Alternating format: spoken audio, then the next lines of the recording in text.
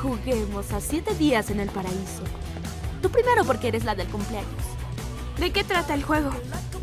Entras al closet, después un chico sortudo entra ahí y hace lo que quiera contigo durante siete minutos. ¿Y quién crees que quiere ir primero? ¿Quién? Chris Grandy. No te creo. Créelo.